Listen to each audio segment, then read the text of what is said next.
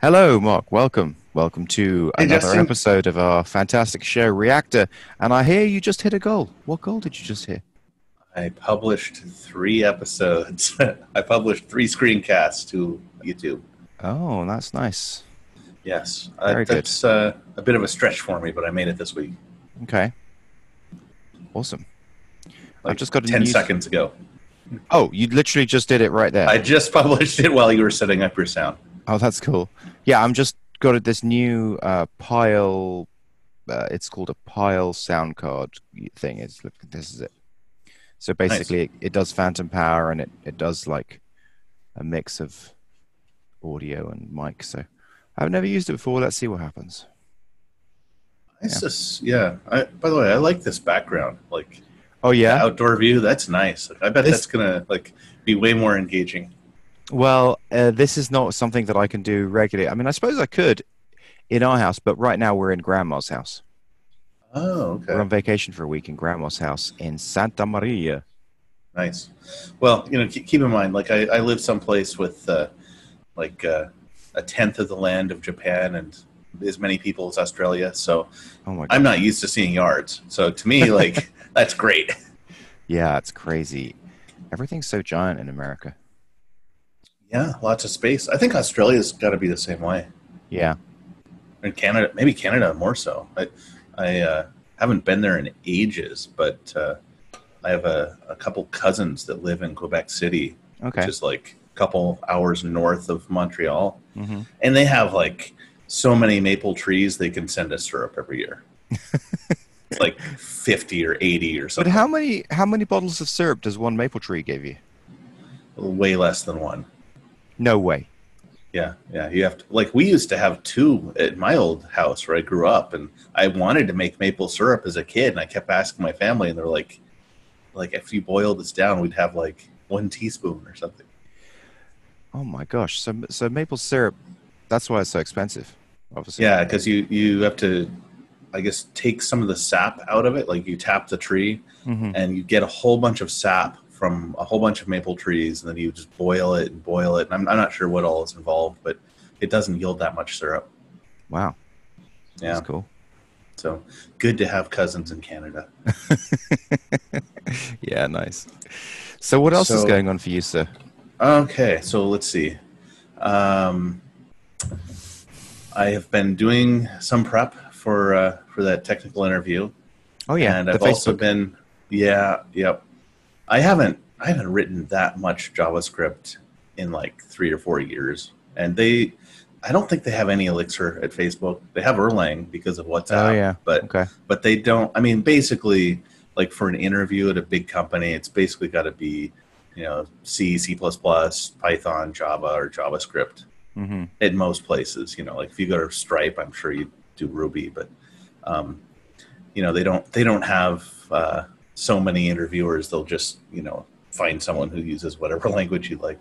hmm So there's that, and then also just kind of the the mental fitness of of uh, uh, of doing like a, a timed technical interview. You know, there's a lot of a lot of algorithm problems and a lot of stuff that I know and I've done and I did well at like five years ago. But uh, you know, if you haven't if you haven't actually forced yourself to solve those with a time constraint in a while, like it doesn't doesn't necessarily go well. I repeat that I find it such a strange way to hire people. Um, a timed interview. It's very strange. Like maybe so maybe school does have one does teach us for one type of thing, which is um, a timed interview if you're a programmer. That's what school because school teaches you to you know to do tests. but apart Um, from that, schools what else does it do? I don't. I For don't the think real world. Yeah, I don't think most graduates necessarily do well at those either. Like they they've had the like they've they've taken the data structures and algorithms courses, but Mhm. unless they're into competitive programming, they they probably haven't been solving that many problems under those kind time constraints either. Yeah. Um, I mean, I, I I think it started reasonably. It was like the whole FizzBuzz thing. It was just like, is this person a complete fraud? Like, can they program at all? Give Yeah, them I th- FizzBuzz test. the kind of questions I thought were cool and interesting were like, you know, how do they make M and M's? Oh, those You know? brain teaser things. Yeah, so it's, it's not really about your coding. It's just like it's about your thought process. Describe to me step by step how you think they make M and M's, and so then you can sort of see them thinking through the different ideas and different concepts, and um, come you know coming up with stuff. And that's really what you want in a good, a great, well, a startup dev anyway. I don't know about like a like a, a major corporation dev, but in a startup dev, that's what I'm looking for. It, it's also probably harder to quantify. So, like, if you're a big company and you're giving this interview to hundreds of candidates, how do you make sure that you're you're ranking them fairly? I guess. Yeah. One thing I can say though is like the first startup where I worked, uh, the one in Beijing, we had uh, tons and tons, like hundreds and hundreds of applicants, and we actually gave them FizzBuzz, like literally, you know, do the FizzBuzz problem, and under five percent could do it, and most of them were saying they were iOS experts. Um, some of them like couldn't use a Mac. So what like, is we- we- FizzBuzz? I mean, I Oh. probably I probably couldn't do it now that I'm Yeah. sure you can. I'm if you can't do it, like you, th- this was a, a Joel Spolsky idea, which was, which is basically like this is just to make sure the person can write code as opposed to the person's read lots of blog posts about code. okay. Um, you ask them to print out all the numbers between uh, one and a hundred, except every third number print out fizz, and every fifth number print out buzz. So it's like one, two, fizz, four, buzz, fizz, seven, eight, Okay. fizz, not uh, buzz for ten, and then fifteen, fizz buzz because it's divisible by three and five. So everything divisible by fifteen, you print fizz buzz. So that's it. Just everything you either print out the number or fizz or buzz or fizz buzz. So does that mean that basically, if they don't know what the mod, what mod is, they they can't pass the test? Um, I mean, that would be the most straightforward way to do it is modulus, but um, yeah, it, I mean, it means they need to they need to be able to Okay, so so I so they could also just divide into it and see if there's zero left over. Got it. You would Oh, not we're- mod, mod is just the quicker the quicker version. Got it. yeah, or or they could uh, they could have like a secondary loop. You could go like you could loop fifteen numbers at a time, and you know on, on uh, Oh the third yeah. iteration of it you print a fizz, and the other ones you print like n or whatever the actual Oh yeah, is. multiple like different loops within loops. Yeah, you could. I mean, that that is not the way you should do it, but you could do it that way. Wait, how would that work? So So you you'd basically you'd basically have your iteration from one to a hundred. yeah, You'd have you'd have another. Uh, you'd basically be uh, having a loop counter as you're going through. Uh, so what like so so in got- other words, what you're saying is if You could if, be if I equals if I equals three, then print fizz. If I equals uh, you know what were the what were the increments? Every three was it? every three and then every five for buzz. So you'd have like a big, you could have like a big switch statement. If i equals three, if i equals six, if i equals nine, then you then you print one. Otherwise, you print n or what Yeah. you know whatever your your Nice. external one is. Um, I, I guess you could you could also um, keep four variables, and one of them one of them you keep incrementing um, up to fifteen, and one of them you go up to five, and one of them you go up to three, and then once it hits that limit, you reset to zero. You'd be basically building your own modulus. Or you could do a hundred set timeouts, just increment like an extra, like you know, half a second on each timeout, and they print Yeah. exactly what you want to print. You could hard code it. Yeah, I mean, you could just hard code a single print statement with the whole Yeah. answer too. But um, this this is a famous problem. Like I've I've Okay. seen um, like on GitHub, I've seen a repo with like hundreds of Java files. It was like the enterprise fizz buzz thing, and it's like a, it's like this this fizz buzz factory creator handler something. Just it, wa- it was a complete joke, but it, it worked.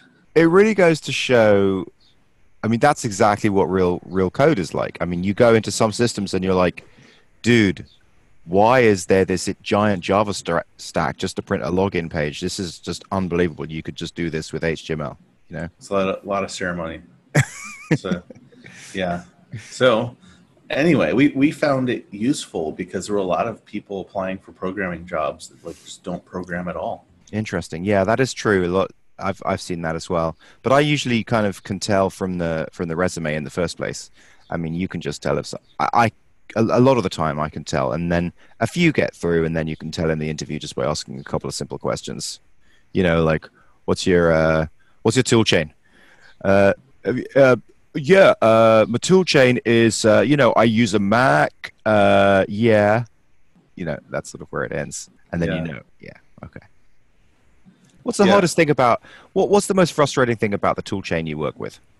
I mean, that's you. You'll you'll get like everyone who doesn't know how to code will not be able to answer that. Yeah, yeah.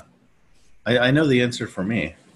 But uh, VS tell me. Code, VS Code updates every month, and when they make a new feature, they want to make sure we discover the feature, so they just enable everything by default. So as a result, every month there's a risk that something that's like deeply ingrained part of my workflow does some new thing that I don't want. Yeah. huh?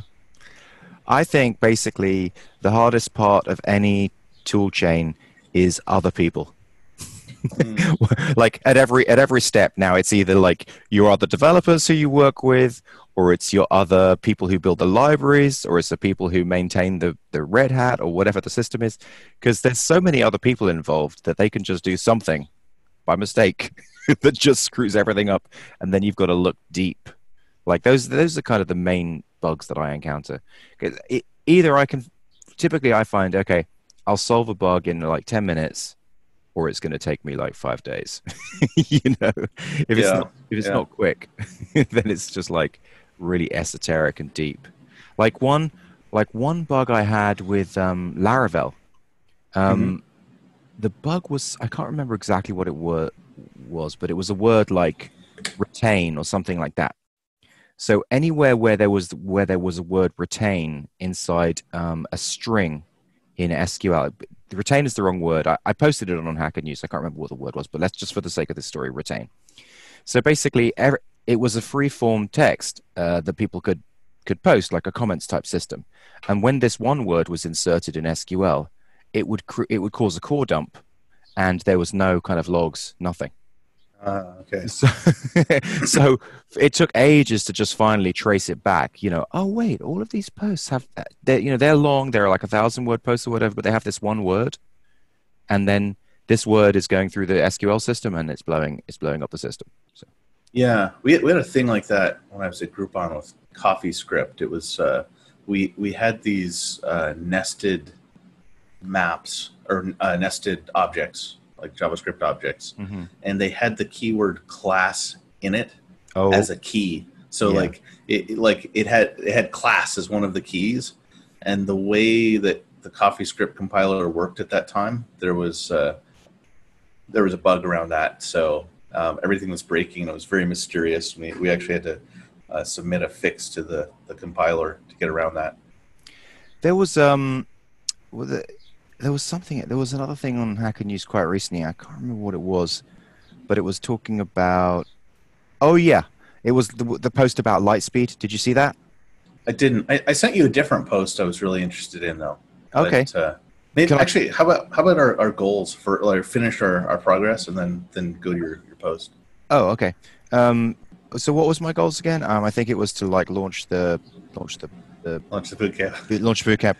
Yeah. So I didn't do that, but I I, I do have it reviewed, um, and I do have the testimonials that I want. Um, and you know, I would be good to launch it if I didn't then go back and look at the whole journey like holistically and go, I kind of need to rework Nugget now.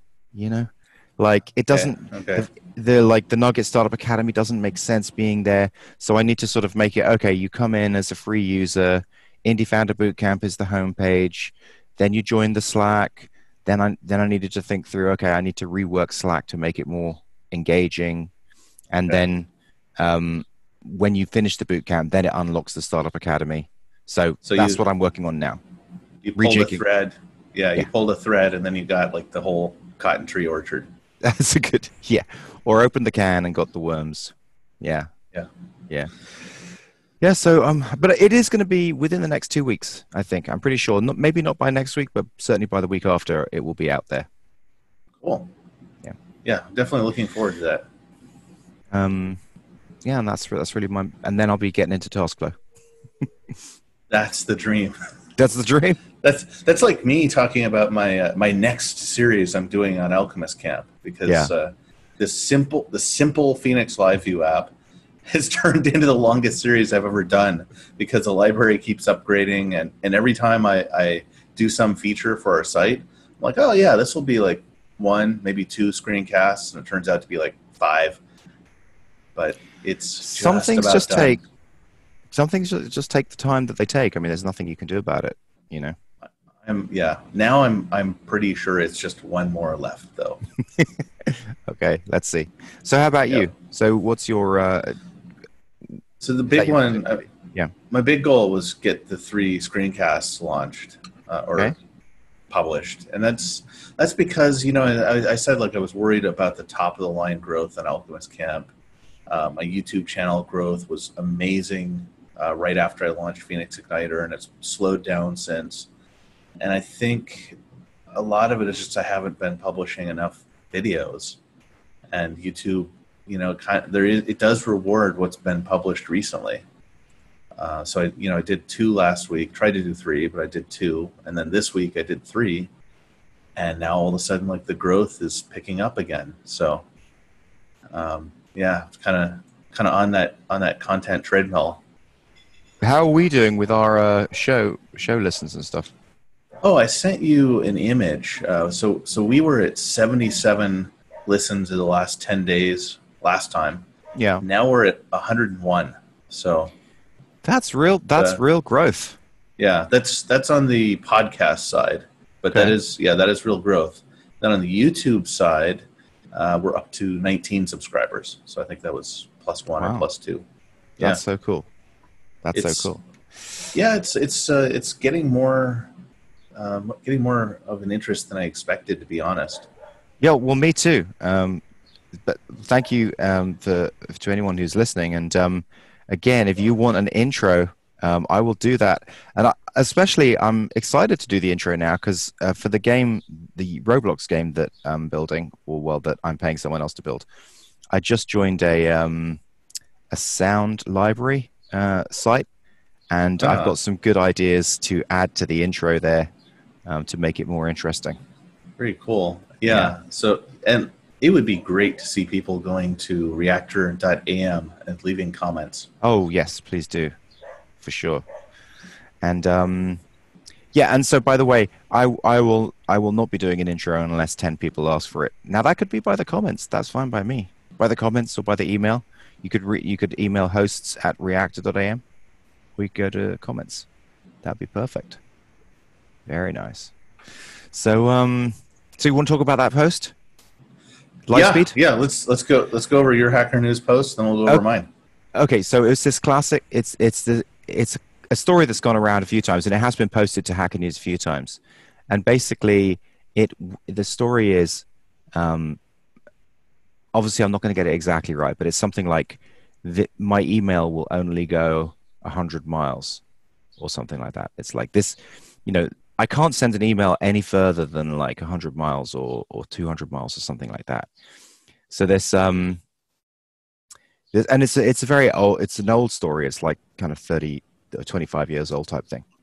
And so this um, sysadmin you know one of the professor for the statistics department comes into him and says look i can't send an email any more than 100 miles whatever that is maybe 100 200 400 or something.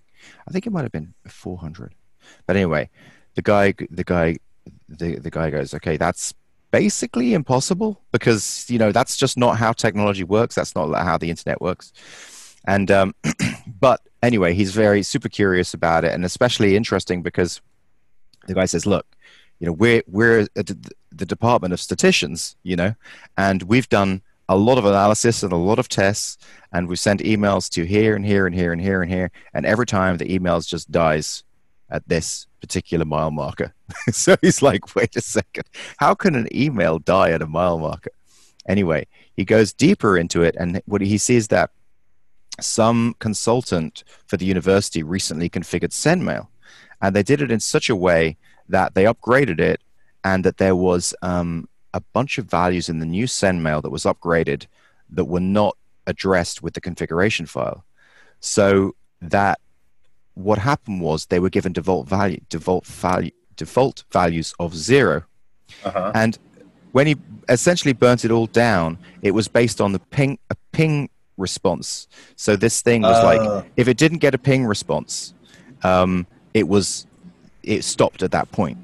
So essentially, he was like, okay, what is the speed of light? Okay, this is the speed of light. The speed of light would dictate that that you know this ping is going to get about 400 miles or however many miles it was. You know, and Interesting. and that was essentially what he you know f- found the bug to be. The bug was the speed of light.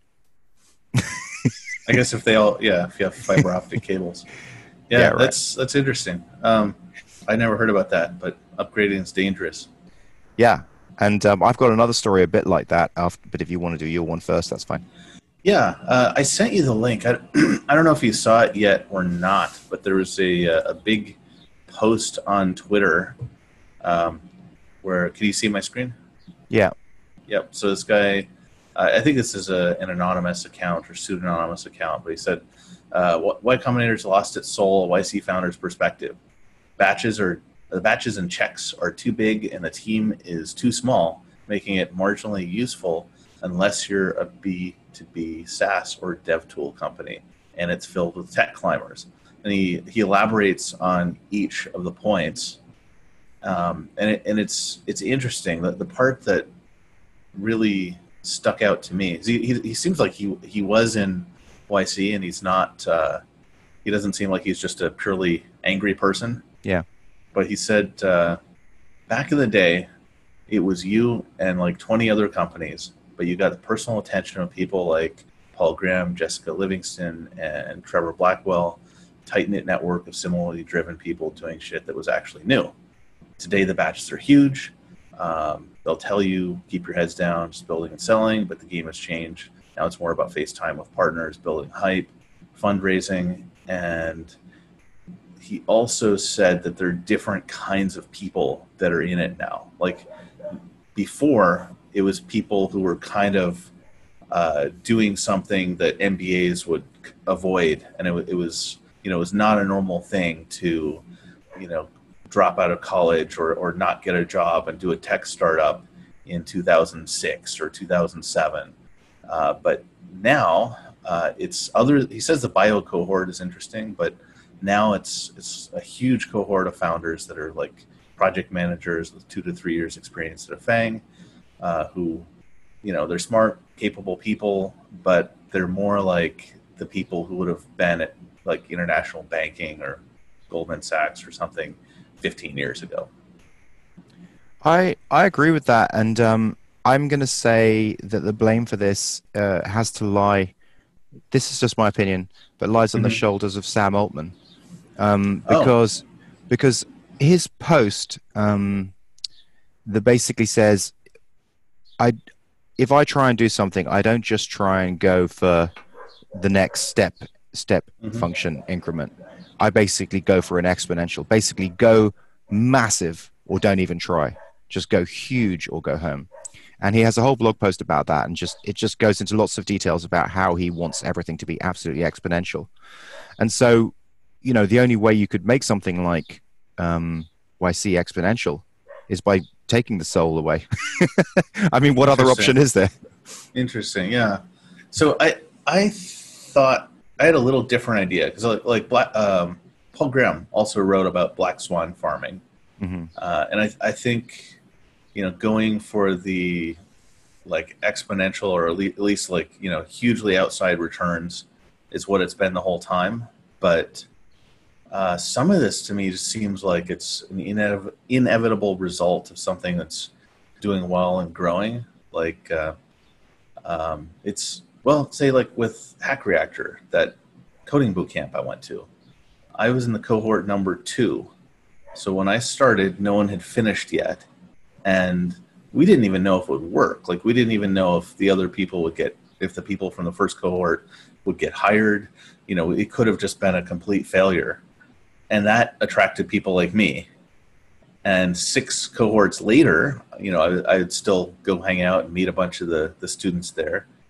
It was a lot of people who were like leaving finance jobs or like went to uh, an Ivy League school or something, and they're like, "Oh, we know this this uh, you know this is a really effective school, and it gets people you know into top tech companies often." And there was you know it was it was totally the same kind of trade off. Like when I started, the uh, people who started Hack Reactor, Marcus, who used to teach at Twitter, and uh, Shawn, who used to uh, work at OKCupid, a number of other places, like they were teaching us all the development. And you know, I'm sure like a couple years later, when and I know like you know people in my cohort were all pretty happy with Hack Reactor, and everyone who went fairly early was. But a couple years later, they I'm sure they had a much better system, but the original founders weren't like you know putting everything they had in it just to make it work.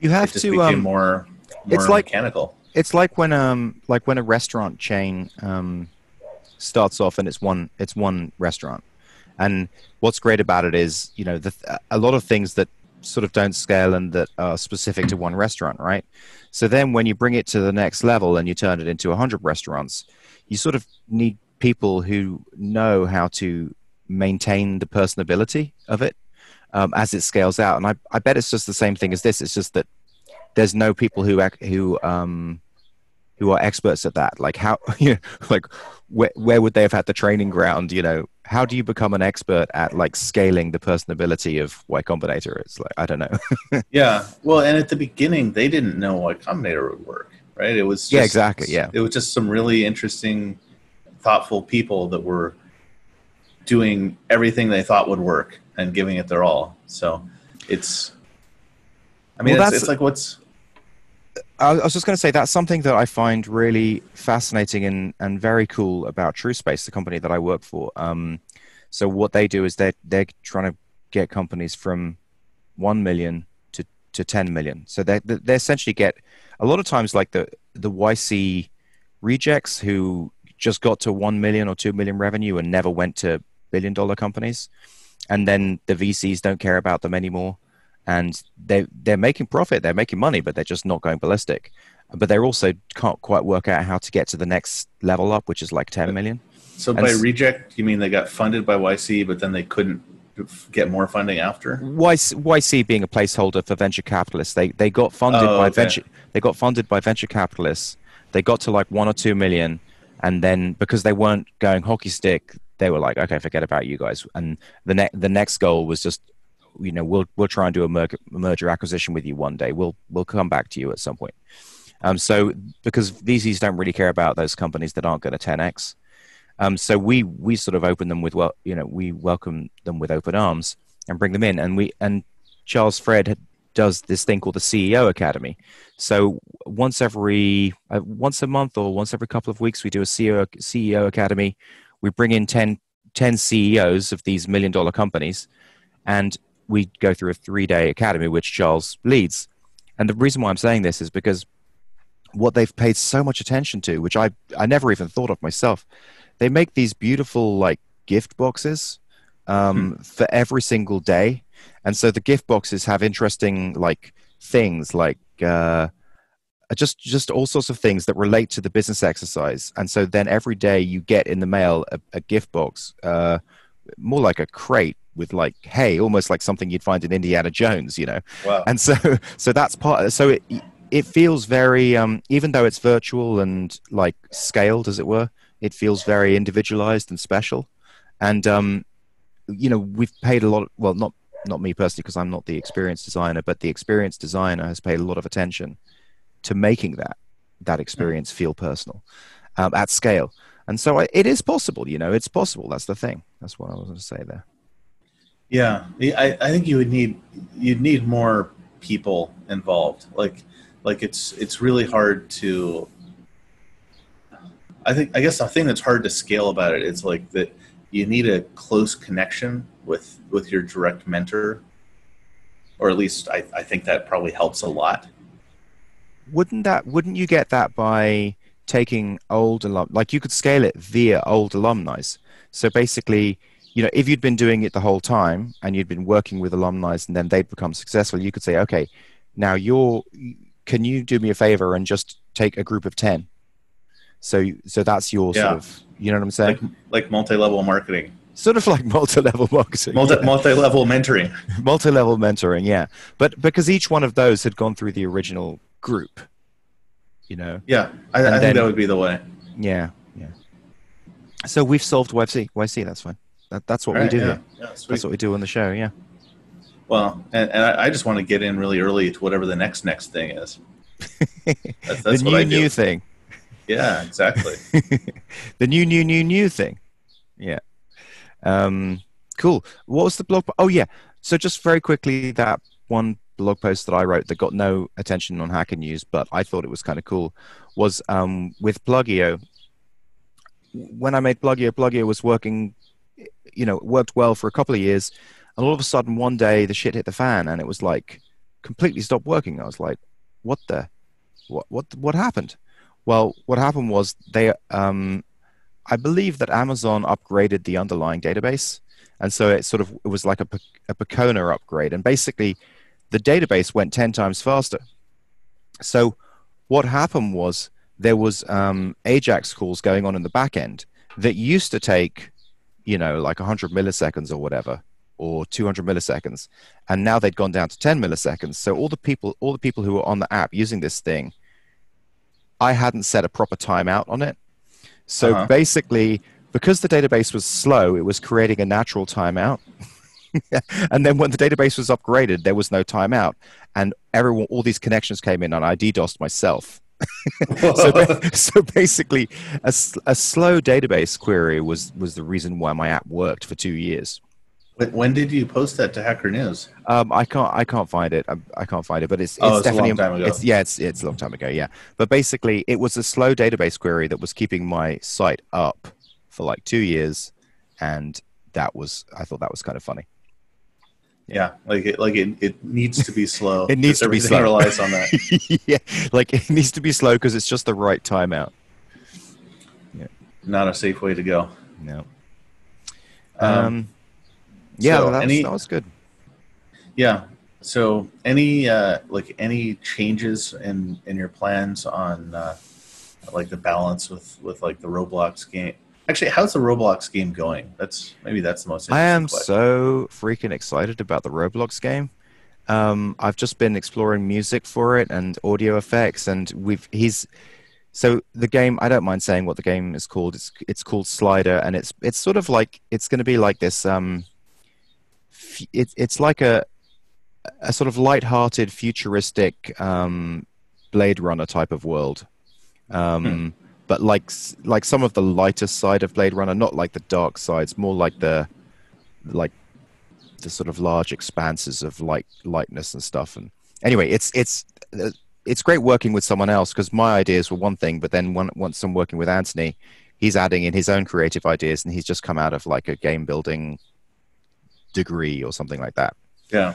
and um yeah it's just he's he first of all he mo- he mocked up a giant map in um photoshop and now we started building out that map and we've got different challenges and different fun things happening and shops everywhere and like it's all it's all on islands in the sea and like you can sort of jump around and like fly between islands and and we've got different i'm just coming up with different sound effects and we're sort of really zoning in on what the visual look and feel is. It's uh, initially it was just supposed to be just a really simple game to just take advantage of the fact that roblox is quite popular but Yeah. the problem is you know the more i get into these things the more i'm like oh wait we could do something really cool here this could be like a great you know some something groundbreaking for roblox so i'm kind of i just can't can't help wanting to make Uh, it a bit uh-oh. better you know So uh, so uh, so how long do you think that's going to take to ship? no not long i mean I- like three months at the max you know what i'm saying like three months would be definitely an outside number um it, it could probably ship sooner but i might just want to make it a little bit more of a good first impression I guess the fact that you're paying someone as opposed to spending your own time on it does put a natural break on that that Oh, yeah. uh, that tendency to just add more and more and more and more. Oh yeah, it's I'm really paying yeah, definitely paying attention to to the different things. Um the but also I do think it should have attention to detail. So the plan that we've the plan that we've come up for building it or that, that I've um, sort of am guiding Anthony towards this. So he's created this big map, and there's a lot of placeholder things and a lot of ideas. But in the center of the map is like one basic challenge and a shop. And Mhm. what what I'm saying is, okay, look, let's just get the center of this whole map like the final game. So just like like in terms of progressive rendering, thinking about that mental model, let's just progressively render to what what would be a release candidate the first like 100 yards around the center of this game. Because essentially that is that is going to be the the ux and the, the experience of the whole game. So if, if at least that, that way we'll just have this tiny portion of the map that we can get just right and then we'll understand how to scale the experience to the whole map. So it'll be sort of go slow to go fast you know does that make sense it. Yeah, Yeah. yeah, that makes sense. yeah, so that's that's what we're going to do. I think the next couple of weeks is just going to be getting this this little hundred yard section just right, and then going okay, right now we know what this game is. You know, like this is what the music is. This is what the this is what the dynamics are. This is what the walls look like. Yeah, sounds fun. I'm I'm uh, more looking forward to Task Flow though. Oh yeah, me too. I so, mean, so I can uh, properly assess which of the many things I could do I should be working on. yeah, yeah. Um, I've I desperately do want TaskFlow to exist, and I find myself going back to looking at mock-ups of it and like reminding myself how how it works, and then applying those concepts to my tasks to help me decide what to do. makes. That makes sense. Yeah, Yeah. yeah. I'm I'm still kind of at that point where I've got to, I'm juggling like how much time do I spend on Phoenix Igniter, how much time, and I know like that's worth. I I need to put in a lot of time. I need to get at least a beta. I was hoping to do it this month, It may be, you know early next month. And then how much time do I spend screencasting? How much time do I spend uh, doing something else that can help promote Alchemist Camp, like uh, writing blog posts, submitting that to Hacker News. Like, there, and actually, that last category I've mostly just not done, and I, I think it could be really valuable, but it's uh, it's harder to harder to estimate, and you know the other the other concerns are pressing. So it's yeah, it's definitely a lot of optimization to It would be part of a large, prioritization. would it be part of a larger strategy though to like you, posting a blog post to hacker news is it just for the blog post's uh, sake or is it for like igniter or is it for alchemist camp what would it what's it for? Okay, so it's it's basically because the uh, the main thing that drives like how successful Alchemist Camp is is probably the number of well, it's it's two things. It's like how good is the content, like how how long do people stick around, and how how fast do I build the, the top of the funnel, which is generally getting email signups. Um, or YouTube subscribers also counts. Um, it's a lot harder to share a video with someone who doesn't know me because watching a video is a big ask. But like a text-based tutorial is easier than that, and then even easier than that is is like a, a higher level, more general blog post. And people who, you know, it's like people who watch my tutorials have a way deeper connection than someone who just reads a blog post but the number of blog posts that you can read or that I can read or anyone can read is just an order of magnitude more than than like you know 20 minute YouTube tutorials they go through. So it's I think it's just uh, it's probably a way to reach a lot more people, but I'd have to, you know, like it, it, it would take work, and I gotta gotta you know write the right thing and and uh, uh, get it shared online somewhere.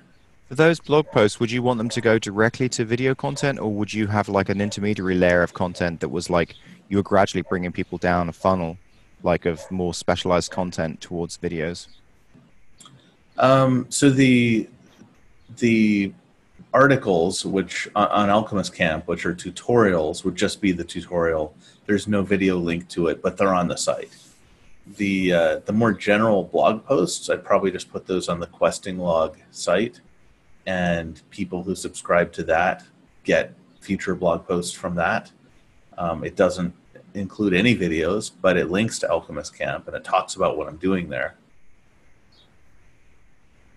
So I, I think it's it's just a top of the funnel thing, and, and Mhm. for me, it's like top of the funnel is site traffic, it's Twitter followers, it's YouTube followers, Yeah. and like the the next layer under that that gets you know that, that's like really easy to quantify in terms of of monetary value is email subscribers. Okay. Yeah. You know, ass- assuming like the quality of subscribers doesn't take a nosedive once I mm-hmm. once I write broader stuff, which it could. Yeah. Well, it So- probably could. It was the, that's why I was wondering. Like, do you have do you have like a larger fly net that then brings people into a more specialized, and then that's where you try and get them into your emailing list? I don't know, but um, How, how do you mean? well, because if if you're writing very broad general content and then they're getting on your emailing list, but your emailing list is really quite specific to, you know, um, uh, Elixir, that's kind of problematic. You know, because you just Oh, got oh. quite unqualified emailing list then. The uh, well, so the people that subscribe to the blog just get articles from the blog. They Okay. don't get they don't get Alchemist Camp updates. Oh, got it. Yeah, yeah. Okay. What's the what's questing log? That's my What's- blog. That's my new So- blog. Your blog is called questing log. I didn't know about that. Yeah, yeah. That's the one I showed you that I made with VuePress. You did? Yeah. Show, can you show me again? Yeah, sure thing. You show me so much. We do so Just, uh, much. I just checking out your your Hacker News history when you uh, when you mentioned that submission. Uh, oh, yeah. So, questing log. Um, so it's got a link to Alchemist Camp right at the top, link to the YouTube channel, link to an old blog, and on this one, uh, I've only I've only written two posts, but they both you know got some amount of following. Go to the homepage again.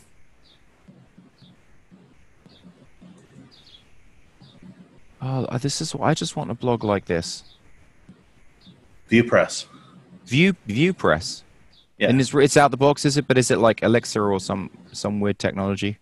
It's Vue, like Vue.js. Oh, okay. VuePress. Yeah. It, this is actually the same thing I use for uh, Phoenix Igniter uh, docs. So if you go here, like this, all this documentation that I made was also using the exact same technology. Mm. So, So- VuePress is it's like Gatsby, but it's less flexible and it's it's much faster to get going with, Okay. and it's Vue instead of React.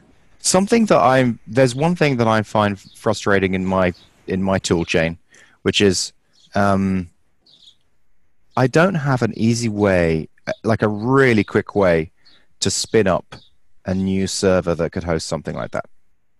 You know, like so. Okay, I have I, that. I- you do have that. I wish I had that. And that I that's the you. drop. Sh- you, that's the droplet thing that you showed me. I saw that. Yeah. it, it's like literally a, a secret page on my site where I type in the uh, the domain and my email and click a button, and then it does like all the Nginx setup, all the you know fetching uh, um, or installing certbot, getting the, uh, Yeah. the So SSH certificates, all that.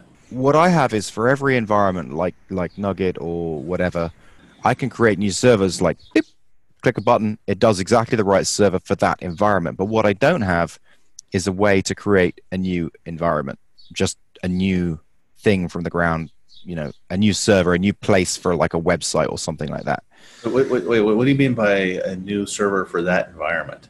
Like you have nuggets running on multiple servers? Yeah. Why? Well, because you know, it's just a, just I've just found that distributed systems for those kind of uh, sites keep them lightning fast. You know. Oh, how many how many servers is it running on?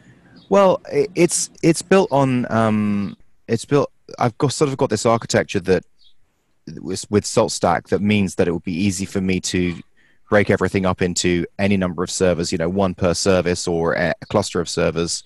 But I, I think Nugget.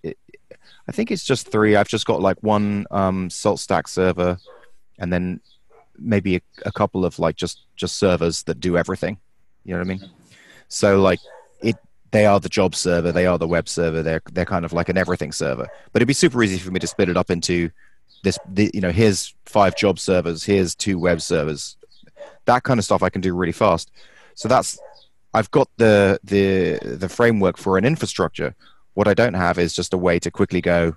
Here's my new, my just my new one thing. You know? Gotcha. So, so SaltStack that's like the Python equivalent of like Chef or Ansible Yeah, or yeah. something like that. Uh-huh, Okay. yeah, yeah. Or yeah. Okay. Yeah. So Um, because I just haven't, I've just never really spent the time to make that part easy. Um, and I don't have an environment because I don't like to mix environments. So, for example, with Amazon, you know, I've got a different Amazon account for for Nugget. I've got a different Amazon account for the other, you know, for Speak. Right. I don't really want to mix Nugget and Speak into the same Amazon account. So, what I really need is another Amazon account, which is just bits and shits and basically okay i could just spin up some stuff in this account you know Like a different user account. You mean? Yeah. Wow. Okay. yeah i do a different user account because i want because i've i've gone through the pain of like um having it all intermingled and then needing to separate it and it's really painful Is it? Wow. with like a due, due diligence type stuff or you know migration type stuff like when you know you want you want to try and keep those kind of things those those business concerns separated if possible because you may sell it one day you may you know there's just any number of things Yeah. you could do and it's going to So- be so what I've- painful what I've done with Phoenix Igniter, even though I probably won't ever sell that, um, and what I'll definitely do with with the next uh, the next one, the analytics one, which maybe I could sell if everything goes well. Yeah. um, is I've I've put it on a separate Stripe account, not a separate, uh, not a separate login, but like a separate, um, like a separate dashboard. You Yeah. know how you can toggle between your yeah yeah multiple yeah accounts. i you can that yeah. you can transfer one of those to someone else. So Mhm. I've got a, a separate one of those, and then uh, separate DigitalOcean droplet, Mhm. but not a whole different like DigitalOcean account. yeah that that's the way i do it and i wouldn't want them all intermingled like that because Wow. because because it grow because like it can kind of grow pretty big. So for example, something Nugget uses is like uh, memcached. So Mhm. you've got you've got like an Amazon service memcached. You've got Amazon um, RDS stuff. So it's using Am- Amazon databases uh, served by RDS. Amazon memcache served by memcached. Then it's got web servers on the front end. Then it's got a salt stack machine. So you could imagine it's already a bit distributed and scaled. And now if I had like speak in that same thing, like with a similar level of like distribution, it would be like, oh, it'd be so annoying and difficult to like separate those two things. Well, I, I know my solution. What is it? Use a more efficient tech stack. Yeah, that's I, I believe uh, my, so. Alchemist, just just guessing off of your Alexa rank, Alchemist Mm-hmm. Camp had about uh, three times the traffic that Nugget has now. Uh, when it was still on a, a five dollar a month bottom tier droplet, and I had other stuff running on the same droplet. I finally Mm. like pulled it out into its own thing and added some memory just to speed up the uh, uh, just speed up the builds yeah. but uh, yeah, it's it's literally just like all on one single droplet. I mean, that probably does come from. Um, it it probably does come from working in distributed systems, building a lot of websites on distributed systems, and probably like over optimize. Like I know what the minimum distri- distributed system is for like major optimization, and I, I'm extremely optimistic in thinking, okay, you know, I'm going to get like fifty thousand people on this, and I want it to be ready for it. No, it- like I I think there's so that- why not do that? It's the the scalability arrogance uh, that uh, Yeah. podcast like solo podcast thing I I did was on that. But I I think um, it depends on your setup. But I suspect I suspect like with modern Laravel, you can get a lot of users before it's. I mean, it's not as many as Elixir, but I think it'd be a lot. I could certainly do that because um, I mean I could I could certainly create one Amazon account because basically every single site that I do runs on local machine in one instance. You know what Mhm. I'm saying? Like so it all it all it all breaks down to a single server. No, you know, without a problem. It's just I guess I've just got in the habit of like scaling it. Did you ever listen to like the really old Stack Overflow podcast when it was uh, Jeff and Joel? Yeah. Yeah. So they talked about scaling Stack Overflow. And they had millions of users before they did any horizontal scaling. They, when they finally needed to do some horizontal scaling, they had uh, uh, one of the Reddit founders on the show, and they were talking about it. But I think at that time they had something like like five million monthly active users or 10 million or something It's on true. It's, 2008 hardware. it's true because, like, you know, y- user requests, like, what it's really difficult to get to say 100 requests a second. Like, that's really, really difficult to get Yeah. to, even with a shitload of users. Um, so it's true. I'm, I'm definitely. This is an area that I've, I could improve. You know, you're, you're very, very correct here. Yeah, it, it's I, I did some load testing on my site, and it uh, basically maxes out around a thousand requests a second. And I haven't done like everything super efficient, but you know, Elixir is pretty efficient in its nature, and I've, um, I'm not doing anything like super expensive with it. but also i just want a couple of blog i just want it for a couple of blogs or whatever i just wonder if i should just even be bothering doing my own infrastructure like maybe there's just some site that i could sign up to that just gives me the blogs i need Oh, um, so You know so I mean? one thing I totally forgot to mention. So I've I do have a whole bunch of Elixir sites, like all on the same DigitalOcean droplet, and I've got a couple of WordPress blogs on the same DigitalOcean droplet. Those are those are uh, mostly abandoned blogs at this point. But that one that I just showed you, the questing log, that's on Render, Hmm, like render.com.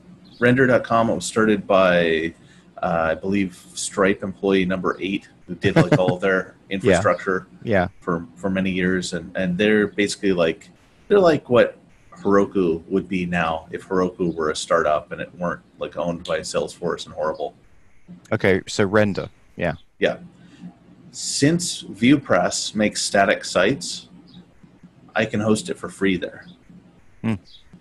So you don't get comments, you don't get like a login or anything like that. But if you're just hosting a static site, like as many as you you, could do for comments free. for Disqus though i guess Yeah, yeah, Yeah. and no limit. You can just do all those free. Hmm. Um, although I don't, I don't. Did you see how I do comments?